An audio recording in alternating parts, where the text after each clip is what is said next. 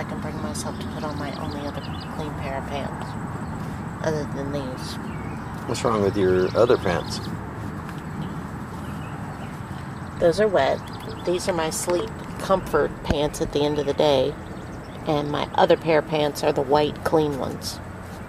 I don't want to put. I don't want to wear today my only other clean pair of pants. This is tent life as we know it. So last night was uh, us first back up on the trail, where uh, we are now pushing our seed spreader.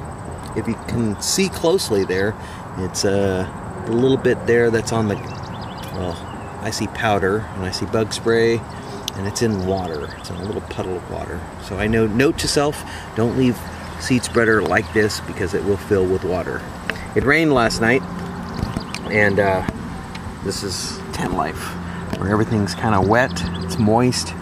Right off the trail, we find a, a little nice spot here that we believe we're not. I didn't see any signs of no trespassing or anything like that, so we decided to pitch tent last night. It was kind of cool. This is our little indwelling. It's uh, stuff there, everything in dry bags, and one Melanie Snoopy bag there that seems to be getting wet. But uh, there's my dry bag, and uh, yeah, that's our food. We usually get food for one day, maybe two days, trail food, and then usually what we're going to eat in the evening or in midday. Stock up. It looks like beef jerky and mashed potatoes, sunflower seeds, dried pineapple, and cranberries. Oh, and Mel's cutting up an apple. Uh-oh. Yum. Yeah, and so that's what we're having for breakfast is oatmeal. Uh, boiled up some oatmeal. How's it look? Uh, I think I put too much cinnamon. I like cinnamon.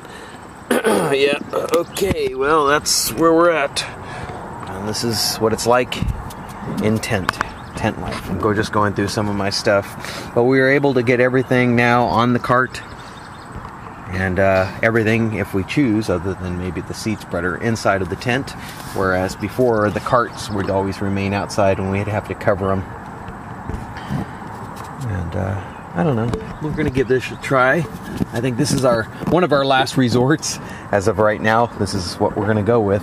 So last night, or la- yeah, excuse me, yesterday we made uh, approximately almost eight miles from George Wyth State Park in Waterloo the highest north of the American Trail. And uh, then we made our way uh, through Cedar Falls, and I think we're right on the brink of Cedar Falls going into Hudson. All right, so stay tuned.